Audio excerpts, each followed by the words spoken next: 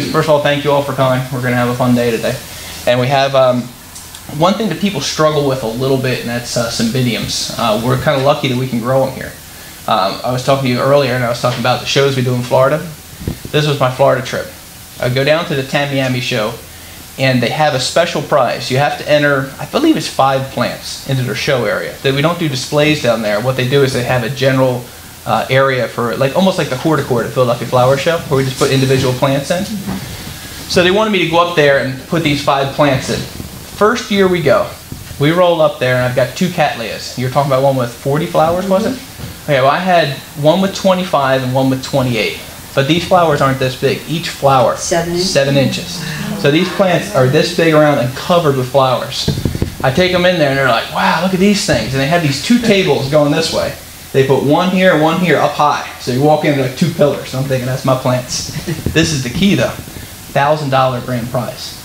$200 cash prize if you just take first in your class. So I'm like patting myself on the back. Like, they don't know me. First time to show and they'll knock their socks off, right? I got second. Right? First prize was a Brassavola glauca, which only gets one flower per inflorescence, had 40 flowers on it. So it was like this ball of flowers. So there's serious competition down there because of the cash prize. They bring in some really nice stuff. So the next year, I'm going to top them. I pot a plant, 16 inch basket, had 33 flowers on it. And this thing was massive. It was perfect too. Flowers all the way around it, all it, it perfectly spaced. Everything's perfect about it. And I grew it specifically for the show. Take it down there, second place. right? Yeah. So we had uh, there was a Laelia Santa Barbara Sunset. Which I don't know if any of you know that. It's an anceps type thing. It's these long spikes, the 25 spikes on it. No, it. That's not an unbelievable feat by any means. That's actually something that if you have the space to grow it, would do that. You could take a plant from a five-inch pot, and I would say within eight to 10 years you could grow it that big, which is not a stretch. Some of these specimens take 20, 30 years. So it can take a long time, but this was something like I was kind of like, eh, you know, first prize, come on. So this next year, my wife and I go down. I didn't take anything big. I took cymbidiums because they can't grow them. I got first and second place in cymbidiums, which is no cash prize. But I patted myself on the back because I got a blue ribbon. Because in, in South Florida, they cannot grow cymbidiums. They can grow the plants fairly well. They can't flower them and uh, they normally will grow a warmer variety. And I want to show you the difference. Uh, I brought one with me. This is a newer plant. Anybody here Irish? Marshall. Marshall? This is Mad Irishman. but you see the flower size? Yeah. Small, Yeah. uh, green, chartreuse color. Um, a lot of times they'll be brown or tan. So you don't get a lot of really intense colors out of the warmer varieties. What you'll get is something that'll bloom more towards summertime but they don't need as much of a chill to get them to flower. So there are some varieties now, they call them Florida cymbidiums, and there's people when you go to the Tamiami show selling cymbidiums, but they're nothing like the varieties we can grow up here. We're really lucky because we have to pay for all that heat in our greenhouses, we can grow whatever we want. We can grow cold, we can grow warm, whatever we want to do, we just have to pay for it. So, but this is a warm growing type, and it's blooming much later. As you can see, I only have a couple of cymbidiums up here to show you. They're really on the end of their season. If we had held this two weeks ago, I probably would have had just about anything I wanted. A month ago, I could have shown you unbelievable plants, but the, the season's over as soon as it starts getting warm. So I'm going to talk about some of the keys to growing a cymbidium in your house. So some people struggle a little bit with it because of the cool temperature requirement. And we talked a little bit earlier. Uh, I'm going to take questions in the talk, so just give me a second. Let me finish my one thought here. We talked a little earlier about cold temperatures. And you would think about with an orchid, uh, like for us, if our house is 60 degrees, I mean, come on, well, we're complaining, right? 60 is the warm end for orchids. Okay, that's the cool temperature for warm orchids. Not cold temperature. That's that's where the heat would just come on at 60 degrees. So really 60 degrees is no problem for an orchid. Our cattleyas and cymbidiums will go down low 50s, sometimes mid 40s at night. Very, very cold. So we're going to talk about some of the ways that you can you can do that in your house. Hey, Barbara, you have questions? Yeah, just give me the correct spelling. I know I'm not spelling. Cymbidium? Yeah, Oh my gosh. I know. C Y M B I C Y M I got that one right, yeah. B I D I U M. Cymbidium. Latin, so easy. Right, uh, anybody know what it means? Any Latin major? I found this out this morning because I looked. I cheated. I want to give you the special. See, I can talk to you all day about culture, how to grow them, what to look for, what to do. I didn't know anything about Cymbidium until this morning, as far as like where they came from. I mean, I knew where they came from. I shouldn't say that. There are 52 species. This will be on the test. Write it down. 52 species, okay, of, of Cymbidiums. Most of them come from Asia. Okay, a lot of them are from the China, China and all that. And they'll, they'll grow in very uh, cool conditions up in the mountains, but there are some warmer varieties. Most of them are cooler. In fact, the AOS one time, is anybody AOS member? Y'all should be. Yeah, we are. Good. Okay. Uh, AOS is American Orchid Society, and they are the governing body here in the United States. And a great program, and uh, they do a lot of good work here in the states as far as uh, recognizing plants, judging things, judging shows, and all. They do a great job.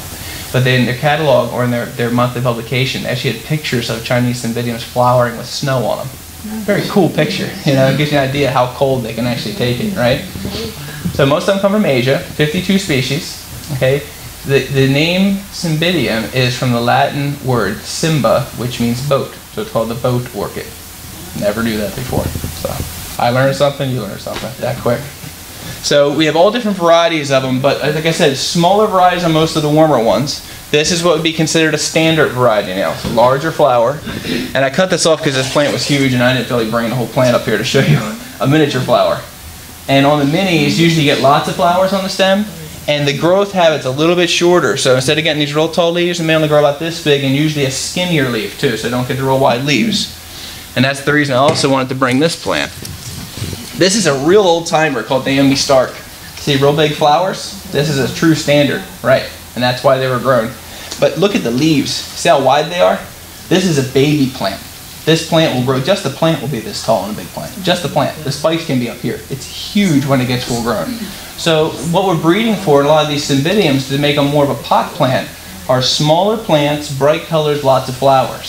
So now we're trying to get the plants where they're more manageable instead of getting these really huge plants. You can even see how the, this growth habit, it's kind of this way and that way. Think about how much room this is going to take up in your growing area. So this is a more modern variety. You can see a little bit more upright growth habit and the leaves are a little bit thinner. This, like I said, is a newer thing. Look at all the foliage that's in that plant. If that big Naomi Stark had that much foliage, the plant would be this big around. So that's some of the things we're breeding toward now. Uh, this is a fairly new hybrid, and you can see a real bright color. This is almost finished flowering, but really bright color. This is satin doll sunflower. Uh, but yeah, really pretty thing. And a lot of cymbidiums have a fragrance. They'll smell kind of like fresh cut cucumbers, something. It's kind of a sweet, fresh smell. So very attractive. Okay, so cymbidiums, uh, we're going to talk about mainly the thing is, is cool temperatures. Yes, go ahead. You mentioned they can grow up at 60 degrees is an ideal temperature. How much light do they? No, no, 60 uh, is not necessarily their ideal temperature. When we talk about, that's what I'm going to get into right now is the temperatures you want to do it.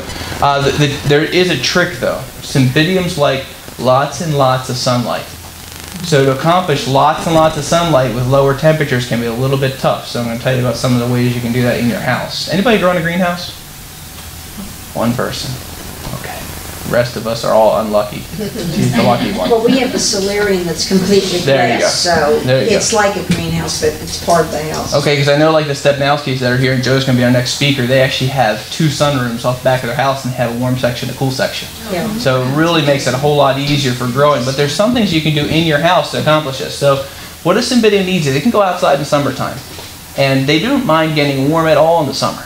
They could be 100 degrees and they're okay. They don't mind the heat at all. But they need to get really, really cool in order to make them flower. Okay? So what we usually tell people is find a spot where you can grow it outside. If you don't have a place you can put your cymbidium outside, don't bother buying it. they really, really need it. Now, you may be okay. You may try and you may get something. But to really grow it well, you have to be able to get it outside in the summertime. They like all the air movement. They like the cool temperatures. That you know, in the evenings, how it cools off a little bit, gets warmer during the day and cools off. They really like the rain because these things can take a lot of water. Now, they're one of the few terrestrial orchids. Most orchids are. I'm on, uh, say it like you mean it. Epiphytes, right? Epiphytes. Everybody knows what epiphyte is. Anybody Yeah. done? Okay, it grows up in a tree, right? But Not a parasite because it's doesn't taking anything, right? Okay, so since it's a terrestrial plant, we have a special mix for them too. This is a regular fir bark based mix, but it also has Canadian chunky peat moss in it. We use these big chunks of peat. Okay, that's for moisture retention. Because it's a terrestrial plant, they like that extra moisture. So they love being outside in the summertime getting rained on. The other thing, you can take your hose and just spray them down. You could spray it every day, it wouldn't hurt. You don't soak water it, but you could spray it down with the hose every single day and they absolutely love it. So summertime, it's real easy. Get them out now. They can take almost full sunlight. Sounds crazy, right? Do you know there are some orchids that can take full sun? Even in Florida. They grow some outside of full sunlight in Florida. So orchids can take quite a bit of light, and that's one thing. If you don't have quite the amount of light you need inside, you can really push them outside during the summertime when you're developing the new growth. So you want to get them lots of light. Now, when we say not quite full sun, they need a little shade middle of the day. 10 to about 2, 3 o'clock in the afternoon, that's the brightest part of the day. They'd like a little bit of, of shade then. That could be accomplished with the umbrella effect. Could be a small shade tree. I have a Rose of Sharon bush that's been totally, totally violated. I've hung as many as 50 plants in it, and it's only like this big, and thing will be like, it actually, it actually went a little like to the side, starting to yeah, fall over because I had too many orchids in it. So I started hanging orchids on the other side to try. But it's royally abused. But the idea there is just right because it's getting full sun in the morning, dappled light middle of the day, full sun late afternoon. That's what most of your orchids want. So you can either do this by putting up a small shade enclosure. Anybody ever put up shade cloth? Okay, it's so much easier to do shade cloth, and it's not expensive. You can get a piece of shade. I mean, it goes by the square foot, and you can buy like a five foot wide piece or whatever, and then the length you want is linear feet. But it's real easy to buy, and it's not expensive. It's so much easier though if you can take that piece of shade cloth and put an area out in your yard, have the shade cloth over it where they're getting light all day, but it's dappled light. That's what the orchids really want. That's the, the greenhouse effect. That's why you grow so well in the greenhouse because they get a longer day period. So you struggle with that a little bit in the house, but you can get them outside Them where you get that longer period, but they're protected in the middle of the day by the shade. Now, it could be done with a tree, like I said, if you have the right type of tree. We usually say dogwood, maple, birch, willow, anything that's going to let a lot of light through is a good tree to put orchids under. You should keep your orchids up off the ground. Uh, I know in Hawaii they recommend 20 inches off the ground, which is if you take one cinder block, lay it flat, and stand one up, and then they put the benches on. That's how they make the benches out there. It's a flat cinder block, one standing up is 20 inches, and they put their bench on top of that. But what that'll do is it'll keep most of the creepy crawly insects from getting in your pots. And uh, if you have any questions on insects, you can talk about that with Joe in our next session. yes, Barbara. Uh, in my sunroom, I have uh, treated windows Mhm. for the ivy. Uh, UV. uh, What about in the afternoon, if under that, if I move them over, will that, I have talked to several people about that UV filter and that found that it's really not the best thing for orchids. They actually want that full spectrum that you're blocking out. So you might struggle with higher light plants if you have a UV filter on your glass. And cymbidiums are really high light. E, e glass is that kind of glass, is it? I believe it is. It's called E. Yeah, yeah. Um, but what you want to do with cymbidiums, though, they really need intense light. Now, I just had a lady email me through eBay. She says, I, I had this one particular plant, you know, it's a cattleya type. She told me what it was. Growing it in morning sun. And I said, well, it's not enough light. You need to bump the light up. Said she wants really bright light. She says, oh, it's in really bright light. You see that window over there? It looks kind of bright, right? That's north facing. This is the amount of light you're getting in there. Really nothing. No. You grow a fern in there. you really, by the time, uh, like this is at 10:30, so about 12 o'clock, this southern exposure here is going to start getting light in there, and that's going to get light all the way up until probably close to 6 o'clock. So almost six hours of good sun in the south window. So you really need that intense light. I was telling this lady, it's just that I, I didn't want to elaborate because I could tell that I wasn't going to get anywhere, and she kind of cut it off. So I said, okay. But morning light, even if you're getting good morning light, five or six hours, it's really not enough to push these cattleyas. In a greenhouse, we'll go 3,000 to 3,500 foot candles, and it's crazy, crazy bright. But the more you push a plant, the better flowers you can get. As long as you don't start stressing it out and the leaves start changing color as far as getting a yellow or too much uh, anthocyanin shown, which would be like a purple pigment, because that's actually the plant trying to protect itself from the light, and then it converts that energy into doing that instead of blooming. But if you can really push your plants, you're going to get more flowers on them. So cymbidiums, outside in the summer is almost a necessity. Uh, it, it is really a necessity to do it right. What we do in our greenhouses here, we have two greenhouses that have plastic over them. We put six mil plastic on in the wintertime. We take it off about, well, anytime now, about the middle of May. We take the plastic off, and the plastic doesn't go back on usually until the night that it's going to freeze. So I'm not talking about temperatures. We'll go down in that greenhouse. They could go all the way down to 32 as long as it doesn't get a frost. So if it's going to be the right uh, humidity and all that, we don't worry about it. But so as soon as you start getting down near freezing, usually we'll cover it. But I'm talking about nights all the way down in the upper 30s. And that, that to us is just crazy, but the cymbidiums really don't mind it. Uh, in fact, my granddad said, or my dad was telling about my granddad, he said one time they walked out and all the cymbidiums had frost on. But they just go down and spray them with water, and you actually melt the frost because the frost actually burns the plant when the sun hits it. So they actually wash all the plants off real early in the morning before the sun came up, and all the plants are even with the frost on. So they can get really, really cold. Now, that's the first step, is getting them really cool. The next thing you got to do is when you bring it in, it has to go in a cool environment. Um, our friends at Stepnowski's, Joe said he gave up growing cymbidiums. He loved cymbidiums, but he couldn't grow them. And these guys are in Wilmington, Delaware. So they're not much different than we are. Uh, we have a little more protection uh, from the, uh, from the uh, Delaware Bay being on the side of us. Our temperature, we get a little bit of a break. But um, the, he was saying he could spike them, he could initiate the buds, but the buds never developed. And that's because his greenhouse was getting a little too warm. He said he even went to putting ice around the plants, which we don't water with ice. Anybody water with ice? No. Out. No, I'm just kidding. but he even went to putting ice around them to try to drop the temperature mm-hmm. because it is that important. So what you need to do is when you bring these plants in, if you can't do this, I wouldn't recommend the cool growing type cymbidiums for you, is that you need to get them into a room that you can really shut the heat down on. A lot of people have a sun porch and it's like an unheated sun porch kind of thing. They're fine out there. Really, they're fine. Even if temperature's down like 40 degrees at night, all winter, they would love it. The only thing you gotta be careful of anytime you're getting things really cold, they can't be wet and cold. And that's across the board with anything. Nothing wants to be wet and really cold. Uh, you'll have fungal problems if that happens. But they can get really cold and they'll have no problem getting cold. You'll hold the buds if you can keep them cool. So that's the important thing is once you bring them inside, you may not even see a spike yet. Sometimes they will. We used to be if we could get a plant in bloom by Thanksgiving on the cymbidium, it was early. Now we bloom beginning of October because the breeders are constantly breeding trying to extend the bloom period and they can do that with certain species. Incorporating that the summer blooming species can move the bloom period a couple of months. So they can try to get them to bloom earlier and earlier. We get them pretty early now. So sometimes we'll already have spikes showing before we even bring them inside. Those are the better cymbidiums to grow if you're trying to worry about how much or how bright you get or how cool you're going to get. Get the ones that are earlier blooming because they're going to be spiked up before you bring them inside. But you got to keep them cool. Okay, you said night was 40, what about daytime? The daytime, i- i- it's not as important. They would say they'd rather not go above 80. Okay, I said 60 degrees is the warm, the low end for the warm plants. 80 degrees is the high end for the cool plants. So if you could keep it, say, at 75 or lower, they'll love it. If it hits 80, it's not a problem. It Gets much above 80, you're going to run into a problem with buds. So you really got to keep them cool. That's the biggest thing is once you bring them inside, you have to have a place you can put them. Um, some people put them in the basement. Now you got to have good light, so that's kind of a problem.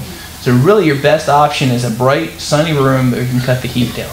Um, the, also in the fall, when you still have those kind of cool nights and the warm days, you can have it where you have a window open, let some air blow through. They really want something like that. So you definitely want to try to keep it as cool as you can once you bring it inside. Now remember, they're terrestrial plants. After you bring it inside, humidity in your house, anybody have good humidity in the wintertime? No. My sun porch runs 20 to 30% humidity, and I'm growing citrus plants on there. I'm like, I know you're not happy, but bear with me, right?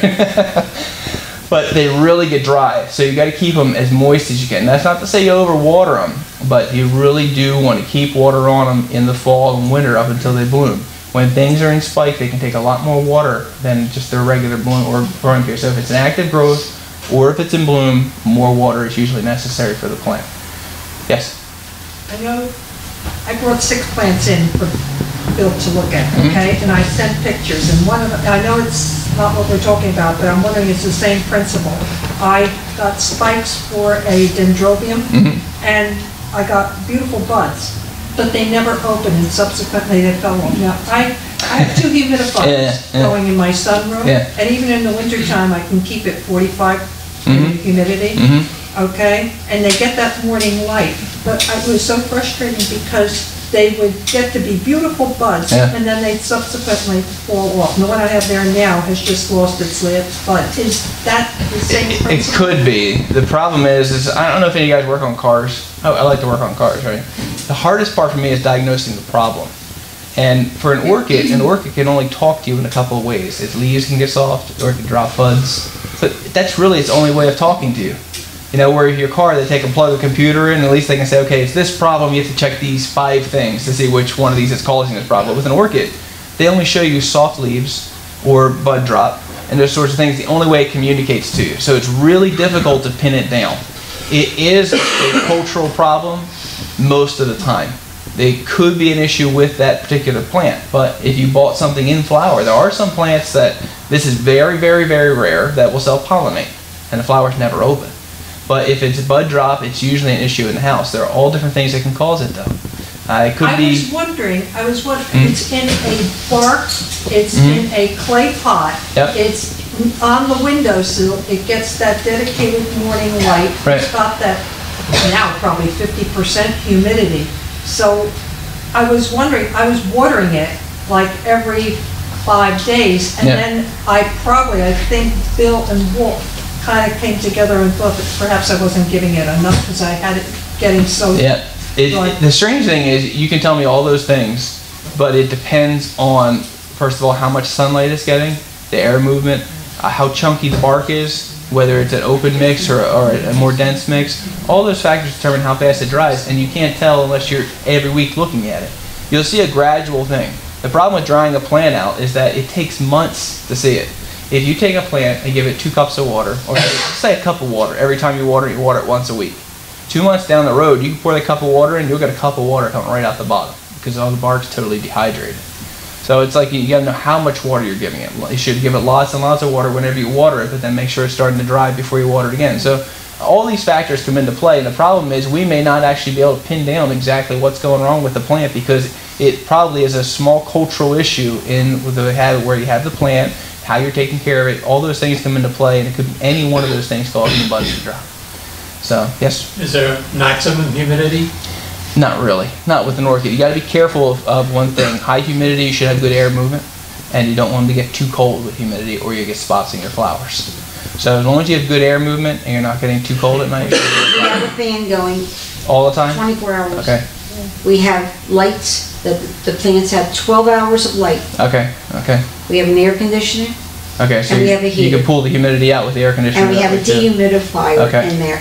It shouldn't be a problem. Because it's, it's gotten up, it's gotten up to like 80, 83, and we put the oh, I wouldn't worry dehumidifier on it. and bring it down Yeah. to 60. So see, because it starts getting water on the your plants are floor. pampered. You've had, So But we love them when they're blooming. There you go, and, Yeah. and you're gonna get good results from giving them just what they want like that. But there's all different factors that can cause that. But the main thing with cymbidiums is it's the low humidity or too warm uh, that makes it do it. So you want to keep up cool temperatures and keep the water on them when they're in spike. They're gonna be your two main factors in making sure you hold the buds on the plant all the way through until it flowers. Like I said, they'll start blooming. Used to be at the end of November. Now we get them as early as the beginning of October. So if you can get the ones that bloom earlier, better chance of flowering, or the ones that bloom really late, you can chance to bloom in these too. So you can get one end or the other if you're not really sure if you're going to be able to do it or not. But we're really lucky, like I said, in this area that we can grow these plants. Anywhere further north is no problem.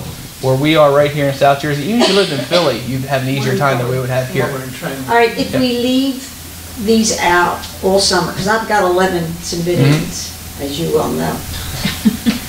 The big ones. Mm-hmm. If I leave it out and I put it on a table, Mhm. I have an area that the sun will come down for about four hours.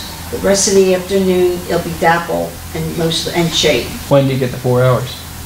Uh, after 11 o'clock in the morning. Yeah, you gotta be a little careful because that's that mid part of the day Yeah. where you could actually burn them. The light's really intense that time of the day. Well, we have umbrellas, so I just put an umbrella up. Yeah, umbrellas are funny. I mean, you gotta make sure you're giving it enough light because um, you can do it under an umbrella. But we have the ones that tilt, the umbrella. Yeah, but it depends on what's coming through the umbrella, like the amount of light coming through the umbrella, because you don't want to block out all the light. No. That's where the shade's really good because you can buy, say, 50% shade and you know exactly what Well, you're getting. Well, we have an getting. awning too, so I mean, it, we But can the awnings block most of the light. Same thing with an umbrella. You're Yeah. probably But blocking even, a fairly high percentage.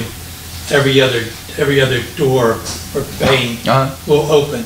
okay. So we can, Yeah. But what- if you open all of them, you're, Yeah. it's almost the same as being Yeah. outside. Yeah, I wouldn't say if you haven't moved them outside and you have flowered them before. No, I haven't No, we flowered just them bought them before. this year. So this is a new thing for you, growing Yeah, cymbidiums? yeah. Okay, okay. Well, you're not gonna know until you try it, and that's the one problem with growing outside.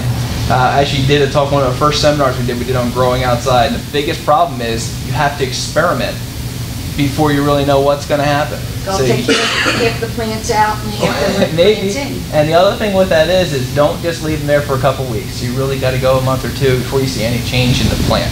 I mean, some, if it's too much light, you may burn it right away. Right. But it's not always more light than the plant needs. It may have just been too quickly. So the best thing is to get them out early, because then they get acclimated to the sun before the temperatures get really hot. If you move out in the middle of June, then a lot of times you worry more about burning Put 'em out something. now, But what about insects and stuff like that? Uh, The best thing to do, I'm sure Joe's gonna the talk a little bit more about that. Yeah. Uh, But there are some chemicals that you can put on the plant. Usually we put things outside. We uh, put a little granule in the pot before we bring it in, a week or two before, and water it through. It's kind of like the same chemicals that you use on your lawn to kill ants and grubs and those sorts of things. Yeah. You can sprinkle a little bit on the surface, water it through, it foams up, and it's like a total drench. It goes through the soil, so you don't have to worry about bringing the bugs back in.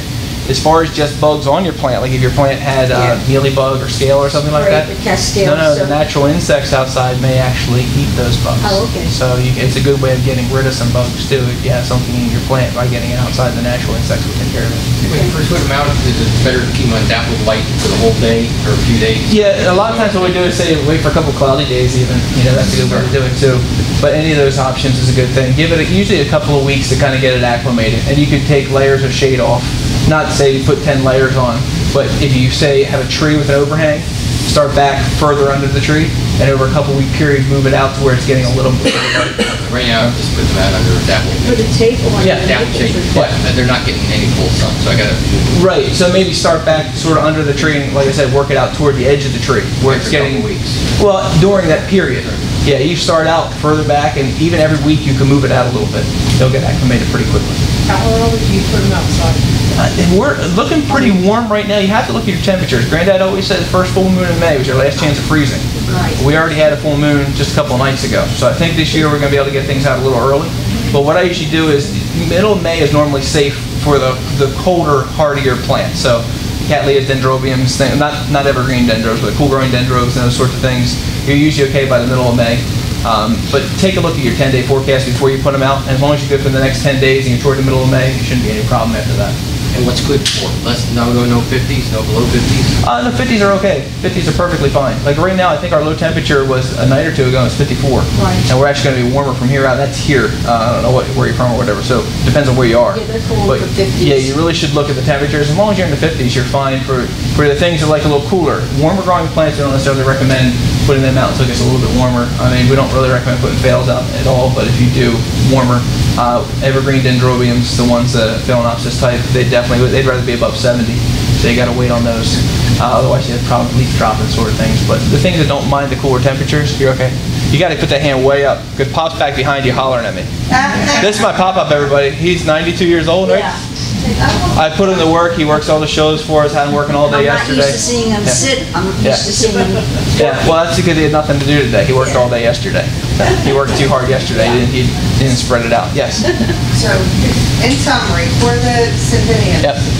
after you bring them outside now, dappled light gradually, then they should be in full sunlight in the morning till 11, and from 11 to 2 be somewhat. And then, can they just stay there then for the rest of the day? Yeah. Ideally, if you had this plant right here sitting outside, you would want a canopy over it, maybe as big as the plant on each side, so three times the size of the plant. That way, sun comes up in the morning, you got full sun all the way here, dappled light here, and then full sun late afternoon. That's what they really would like. If you can't do that, and you have a, a larger sized tree where you're only getting light on one side, then you want to get light probably up toward 11 o'clock. And that should be about right for it because even under a tree, your light intensity is probably more than you're going to get it in a window in your house. It's really amazing what the light temp or the, uh, the the amount of sunlight you get under a tree. I actually grow some of my plants in a spruce tree, which I would never recommend. And I thought I was doing something great until last year. I found some of the cattleya growths grew straight down. And these are six feet off the ground. There's no branches in the lower part. So these orchids hanging there, cattleyas. And most of them, there's like breaks between the branches, so they're getting sun through the leaves of the plant. And then the, the plant's hanging maybe this far below the canopy, and it's only this far from the edge of the tree. So it's getting full sun in the morning, and then through the day, it's getting the light through the branches. I'm thinking it's great. Well, I had some new growth grow straight down. They're actually reaching the most amount of light because the new growth will grow toward the, the most intense light. It was actually straight down. So the light underneath the tree was actually attracting the growth. I thought, oh boy, I don't know if I can do this anymore. But yeah, it's about twice the size of the plant, or one as big as a plant on each side. So you want a decent sized canopy over the plant. That's the middle of the day. If you can't do that, then get it probably closer to one side or the other if the tree is really large that you're putting it under. But there again, shade cloth's your best option, or even an umbrella. Yeah. I stole my wife's table one year on the deck, threw all my plants on the table with a big umbrella over them. It was a white colored umbrella, so I let a lot of light through. That's Yeah, I important. have, we have. Yeah, if it's really dark, you're gonna block out most of the light. But still, they just get, the light coming in from the sides is gonna be quite a bit. And I was growing cattleyas, so. Well, David, if Put we, them in a tree that gets the morning light Yep. and then the afternoon sun, the tree will shade it. Yeah, well, you can get it late afternoon if you want, but if, if you only get light from one side, you want it probably closer to the edge of the tree, to where it gets a little bit more intense light. If you're gonna get light later in the day, like if it's not a really large tree, then you don't really have to get it too close to the side because it's getting both ends of the light spectrum. You're getting morning and, and afternoon sun on it. So every every situation is different. But your ideal thing is the uh, shade cloth where you're getting light all day long. It's just dappled in the middle of the day. I built a little enclosure for my orchids. It looks sort of like a rabbit cage. I just took pressure treated four by or two by fours and built a little rack about this big. And then I took one by ones, came up, made a little rack over the top, and put window screen on. Just window screen, like you buy like for a screen door. Okay, you can buy a roll at Home Depot or Lowe's real cheap. It's about 25% shade. So what I did was I put one layer on top, and then I put another layer over the whole thing. So where it had double layer on the top and a single layer on all the sides. And I have it just out in the middle of my yard. Plants grew great. I was growing cattleya, so a little bit higher light. I wouldn't do it necessarily with lower light plants. But even in that area, if you have a bigger plant that likes light, you tuck the one that doesn't need as much light underneath it. So there's all different ways of adjusting it. My uncle took um, PVC pipe and built a huge enclosure. I mean, it's like 10 by 10 and like 7 feet high and covered the whole thing with shade cloth. He's got it sitting out in his yard. You just stake it down, and you put some benches out there, and put your plants on benches, and it's like growing outdoors. It's great. So much easier to water. What, what- what percent blockage in the shade cloth It depends on the type of plants that you're growing. And you can buy any percentage of shade that you want from, I don't know, 30 or 40% all the way up to 70, 80%. I know you can get as much as 80%. But depending on the type of plant you're growing is going to determine your shade. Like If you're growing cymbidiums or cats? cymbidiums, cats, 50% is enough. You could go as much as 60%, you'll still be okay. So it kind of depends. If you're going to put a shade cloth enclosure up, it depends on the trees in your yard too. So if you have big tall trees everywhere, you don't want as much shade because this that short period they're going to get, it's not going to be enough to burn them. So you go maybe 50% shade. If you get light all day long, full sun, you may want to go as high as 60 or even 70%. We've grown some cattleyas as much as 70% shade and they do fine. Um, if you look at shade cloth on our greenhouse, you'll see that reflective shade cloth. I would recommend buying that. It's not much more expensive. The neat thing about it, each place where those little rivets cross, they're actually knotted. So the old black shade cloth pool in it, like a stocking, it would just kind of pull the big pool and you get this big gap in the shade cloth. This other stuff won't. It catches on everything, but the knots are, are individually tied. So you can actually just take and hook something to it and it won't pull out on you. You can take and pop little uh, grommets in if you want to, but you can actually just take the shade cloth and like bungee it right down or zip tie it right to something. You don't have to worry about having like the, the banding put on the outside with the grommet. you don't really need to do that. What do you call this, this, It's, it's reflective shade cloth. The, the, the brand that we use is Aluminet. And the thing with it is, it reflects the heat. So in the summertime, you walk in our greenhouses with the Aluminet, it'll be 10 degrees cooler than it will be in our fail house where we still have the black shade cloth. Where do you buy it? You can buy it almost anywhere. Uh, Just type it in online on Google search. Uh, Charlie's Greenhouse, I know, sells it, but uh, any of the greenhouse supply companies online. You can even just type in like reflective shade cloth uh, for, for a greenhouse or for plants, and you'll, you'll find 101 different places to buy it. And that way you can search around, find the price that you want to pay, and all that sort of thing. But it's, it's not really not that expensive. I was really surprised when we went to put it on our greenhouses. The one thing I don't like about it, though, it really does catch on everything. Yes. with our greenhouses, we have uh, bar caps, and they they only go the length of each piece of glass. So each end has something you caught on. There's screws in the top. It'll catch on everything. So where I used to take the black shade cloth and just pull it along the thing and hook it up, now this time I have to have somebody working with me because it keeps getting caught and I have to untangle it. And I walk down the greenhouse and hook it all up on the greenhouse. So it's tons of fun. but the shade cloth option is a great way to go. It's cleaner. That's the thing. If a black shade cloth, when you're done with that, your hands are all dried out and black, your clothes are black, and it just messes up everything. It's really mm-hmm. dirty. The Aluminet is not, well, it's a little dirty, but it's not bad at all. I want to talk about a couple of other plants that we can grow right along with cymbidiums because you can grow, like a lot of people are saying cattleyas. Cattleyas don't mind the cooler temperatures at all. Uh, anybody remember Brighton Farms that used to be here? No? George, thank you. Thanks, man. This whole open lot over here used to be, that was my granddad started. This was three acres all under glass. He grew nothing but cattleyas. But he decided that he was going to save some money on heat, start running greenhouses at 48 degrees in the wintertime. That was cold temperature. So the boiler wasn't coming on until he hit 48. He grew nothing but cattleyas. So you think cattleyas is a warmer plant, you know, coming from mostly South American things, warmer climates, but they can actually grow in cooler temperatures. One thing is you'll slow the bloom down a little bit. That's one thing that's nice about having all these greenhouses we have at different temperatures. We can time things for shows.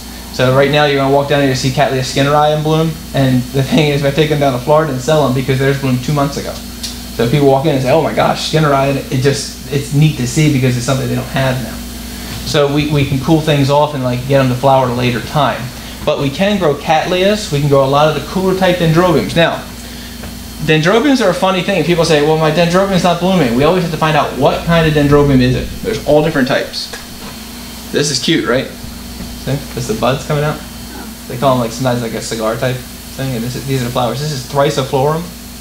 Let me get the spike out where you can see it. Isn't that cute? And this one, sometimes these will be pure white with yellow in them. So these bloom really late. These don't necessarily have to be really cool, this type, but they do grow really well with cymbidiums. We grow all these in our cymbidium house. So Thyrsiflorum, How, how do you spell that? What are those? Thyrsiflorum, Or the, Dendrobium, yes. D-E-N, D-R-O-B-I-U-M.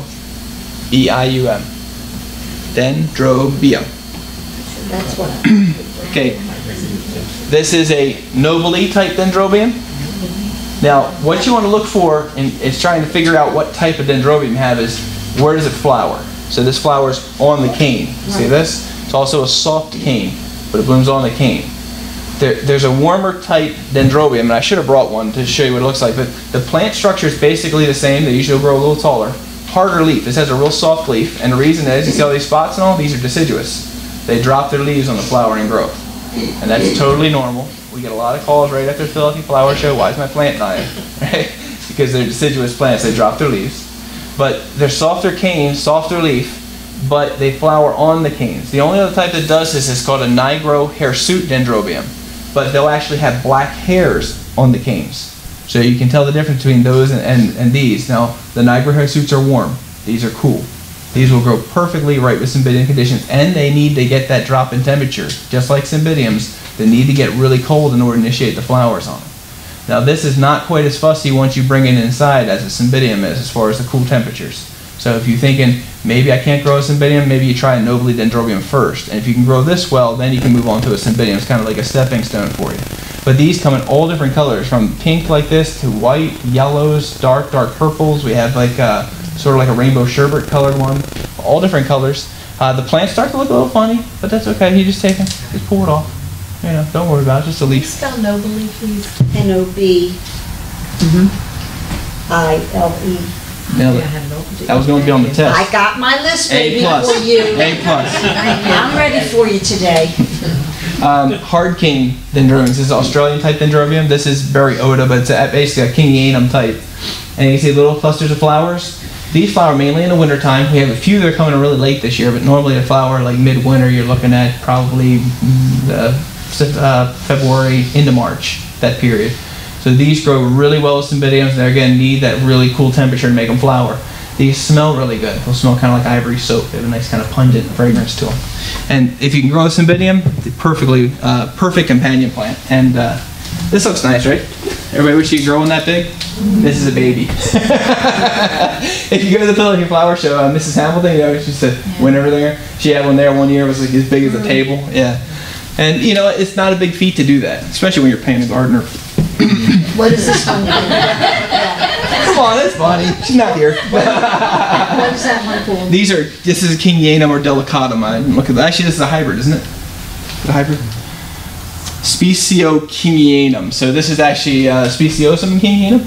Okay, it looks just like a delicatum or a Kingianum, but the other parent of this is a big foxtail type uh, hard cane dendrobium. These these huge stems of flowers. Um, they they flower really early. That's another really good companion plant, but I didn't have it in bloom, so I didn't bring it up when we're finished talking here, if anybody wants to smell, this one smells really good. But um, we have a speciosissima, speciosissima, stuck on cat speciosum. which is another really hard cane Australian type dendrobium. They get these huge foxtails of flowers. They're absolutely beautiful and really fragrant.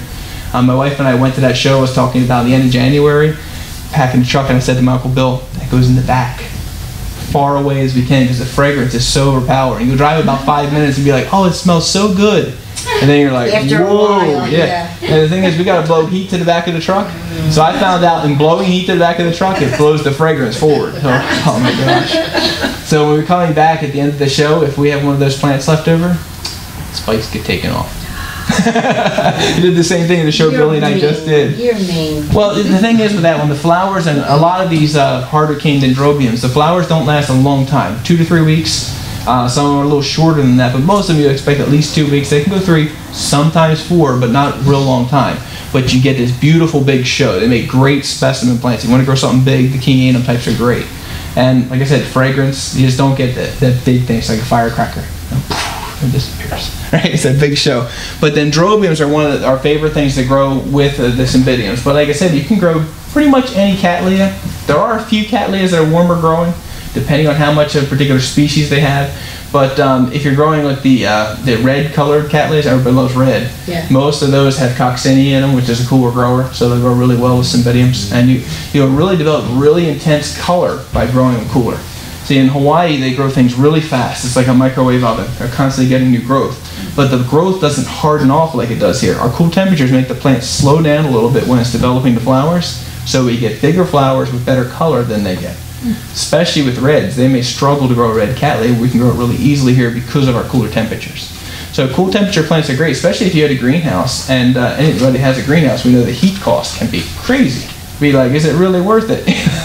so you can run the greenhouse a little cooler if you're growing these cooler growing type plants. In fact, you can grow it really cool at nighttime. You'll save yourself a lot of money on heat costs. So it's something to think about as an option for something a little different.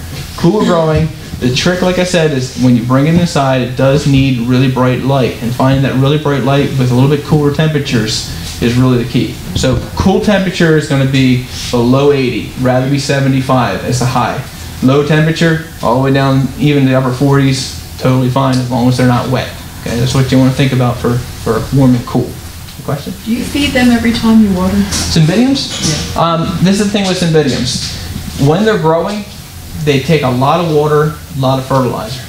And that's true with a lot of plants, but these have a really, uh, like a, a, a very particular growing period. As soon as they're done flowering, they start putting up growth within a few weeks. Lots of fertilizer, lots of water all through the summertime. But anything that you're chilling to initiate the flowers, always remember this, whether it's Phalaenopsis, whether it's these like nobile type dendrobiums that need that chill and they go in, anytime you're doing that, before you chill them, so you know, normally like in August here, start hitting them with bloom fertilizer. Or if you're using if you're using a balanced feed, you're okay. But if you have your fertilizer sitting there anyway, use bloom fertilizer as soon as you start, or even before you start chilling them, because you want to have the chemical in the plant before it initiates the flowers. Question back here. Can you substitute fluorescent light for the bright light, Ah, like we, in an office? we hear this a lot. The, the problem in an office is like your lights are in the ceiling like this, and your plant's on here. You're really not changing the light that much. In order to grow it, I can work it under lights, and it's a fluorescent light. You're like way up there. so um, it's really not worth your time. I, I one year I took um, uh, just a compact fluorescence that and I took the big clip-on floodlights. I got like 100 watt daylight bulbs, and I was growing Cattleya walkeriana. For those of you that grow this plant, it blooms November to February, and it wants as much light as it can possibly get when it's coming into bloom. And that's why our days get really short. So what I was doing, I'm growing in a full south-facing window, clear glass, no shade, no screen, nothing, clear glass, right up in the window, as close as I can get. And they weren't flowering for me. So one year I said, I'm going to take these lights. I took four of them. I was growing on humidity tracer about this long and that wide. Put these lights right behind it. Ran from 7 o'clock in the morning until 1 o'clock in the afternoon. And they start getting light at 11. So basically, they were going to light from 7 o'clock in the morning until the sun went down. It didn't help at all. I ran them all summer long to try it. I had them on a timer and everything. Didn't help me at all. So you can do it. I know George grows all under lights pretty much, right? And he, he has good luck with most of his plants. But then again, you're, you're sort of limited in some of the higher light things. some. Yeah. Yeah, so you, there's all different kinds of balances you can find, but I wouldn't worry about trying to do it in, in a office situation. You're better off taking the blooming plant, having it in there, you know, while it's in flower, and then taking it home or doing something else by getting it closer to a window while it's growing. Any other questions? Yeah. if I take half of the cymbidium outside and leave the other half You gonna- inside, You gonna cut the plants in here? I got 11 plants. Oh, okay. You gotta cut one of them in half. No. And These are the, friends of mine, so I got teeth. the exper- the experiment would be, do I need to take them out, or is the house with the air and everything Mm-hmm. and the light that I'm giving it? Will harm the plant that, I say in the house, one doesn't bloom? Does it harm the plant. Not that at all. won't bloom that year, or No, not at all. Actually, it stores up energy. It takes a lot of energy for the plants to hold the flowers. So anytime you're not blooming a plant, the plant, as long as it's growing well, Right. you should be actually building up energy. Like Phalaenopsis, and when they grow them in Taiwan, you'll see like if you look up Tokyo Dome Show, look up photos from Tokyo Dome Show online. Oh, the- Amazing stuff. Um, You know, get Phalaenopsis like Right, yeah, like that. All in, just like soldiers standing up Yeah. right next to each other. What they do with those plants is they keep them really warm.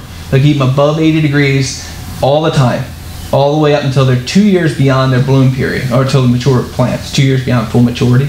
Then they drop the temperature way down, and all that energy comes out into one spike. So it's the same thing with the cymbidium. As long as you have a healthy plant, Yeah. if you have it inside, and it's a problem a lot of people run into, they'll say, my plant's beautiful. And you see how this plant, this is a really pretty plant, right? Shiny leaves, Right. kind of dark green, Yeah. not always a good thing. This particular plant is typical for it. But look at the color difference in uh, the leaves on this guy. Maybe I can hold them next to each other. This is a great thing about some cymbidiums, you can pick them up by the Yeah. leaves. yeah, But you can this see is lighter, more like a yellow color. yeah. This is really a good color for the plant, even though these are growing in the same greenhouse. Okay, so you actually don't want a really shiny, bright No. green plant. You'd rather have more of a kind of a, a yellow muted look to That's the the leaves. color of my Because then you know plants. you're really getting enough Yeah, sun. yeah. The other thing is, anytime you have a sympodial plant, what's that mean? Anybody besides George? sympodial means it puts up new growth every time. So it puts up blooms on that growth, puts up another growth, flowers on the next growth. So always putting up a new growth. Right. These are sympodial plants. You can see the progression. Older bulbs to the newer growth. Yeah. Phalaenopsis are monopodial, which means they just grow One straight up like vandas. Yeah. Okay? Anything that's sympodial, I lost my train of thought. You always want to see a progression of gradually getting a little bit larger or at least staying the same size. You never want to see the new growth come up and be smaller than the previous growth.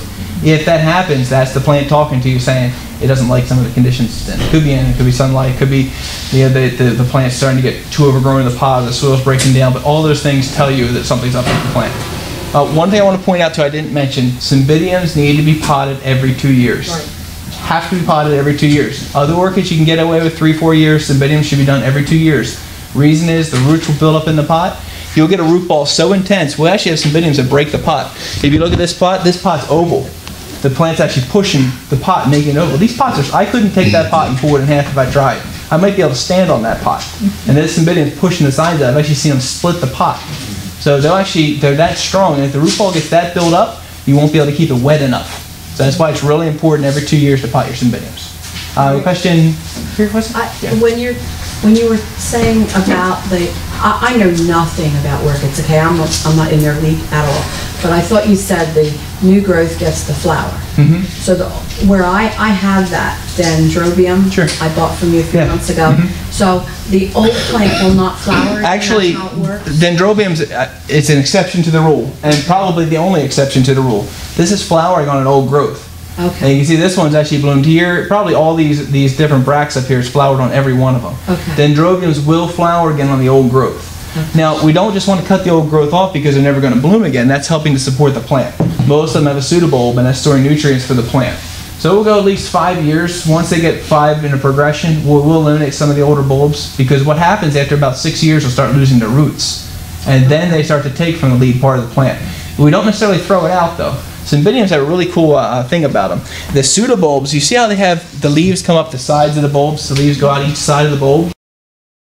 Mm-hmm. Everywhere where leaf joins in, there's a little dormant eye. They can have up to 15 eyes on one bulb. Where the Cattleya, max is three. Mm-hmm. Okay, so you have three chances. This is how I always tell people. It's like if, the, if it got new growth, right, in nature, and some monkey comes along and knocks the new growth off, it can grow from the other side. And if that one gets broken off, it'll grow from the bulb behind it. But there's usually three eyes. First eye is you jump out of the plane and your parachute opens and you just go right down to the ground, right? Second eye is your parachute doesn't open and you pull your second cord, right? And the sec- secondary chute opens up and you're still okay. The third eye is you hope you hit something soft. so there's a very small chance that that third eye is going to grow. But cymbidiums have up to 15 eyes all the way up the canes. I've seen them actually grow a plant from up higher on the bulb. So there's a really good chance of being able to take those older bulbs and get a plant started from the older bulbs. Okay, my question. I bought all my cymbidiums from you, Okay. except for one, that I got it done. How do I know when it was potted? Uh, From the can- time I bought it, It's a wait good two question. years? What you want to look at mainly is, is the plant. You see how this is against the side of the pot? If Yeah. it's in the right size pot to begin with, it'll outgrow the pot in two years. This is just getting to the side, so this is about ready this year. This has only been in this pot maybe a year. We only leave room usually for one growth in the pot, and the next growth should be growing over the side of the pot. So when this puts up new growth, it's going to start to go over the edge of the pot. That's the first thing. That's if it was put in the right size pot to begin with. Okay. The other way around that is right now is a great time to pot in cymbidiums. Granddad says be done before the 4th of July. I always say granddad, it's my, it was my dad's dad. He's the guy who started our business, so we quote him a lot, right? But every two years, what you could do is, if right now is the right time to pot in cymbidium, you can just pot it now. And then you know when you started, if you have a question on it. But usually the plant will start to outgrow the pot. This one was just potted last year. This has only been in the pot a year. Right, you can And you can see you've got room, there's new growth actually just starting to come up. So you actually have room where the plant can start growing in the pot. It's not going to outgrow in the pot. But by the following year, and even this thing now is going to have a tremendous root system. You'll pull these out of the pot and the roots will just be wrapped all the way around the outside of the pot. What- So what size go up to? Uh, That's a good question. Um, we don't want to go too big. We want to leave room, just like I said, for one more growth in the pot, and by the next growth, it's going to be outgrowing the pot. So it depends on which direction the plant's growing. A big plant like this, if we're going to shift it, we got to leave that much room all the way around it. But if a plant's only growing one direction, say like this one here, it only has what we call a single lead. This is the oldest bulb, next bulb, next bulb, next bulb's going to come up here. So we just have to leave room in front of that one bulb, so we don't have to leave room all the way around. So each plant's a little different. Just leave room for one more growth. Do you charge for repotting? Yeah, we charge about the pot size. Uh, so if it goes into say an eight inch pot, it costs you about eight dollars to pot it. That being said, if the plant has a bunch of bugs or other problems that we have to treat and it takes a long time to handle it, if you bring us a bunch of plants, we charge you by the hour too. So sometimes people bring us 20 or 30 plants, and in that case, we charge you by the hour, how long it takes us to get them done. Okay, Any other questions? I do want to get on our next talk. Our next talk's gonna be great. So, okay. uh, we'll have a quick break for you know use the restroom or anything.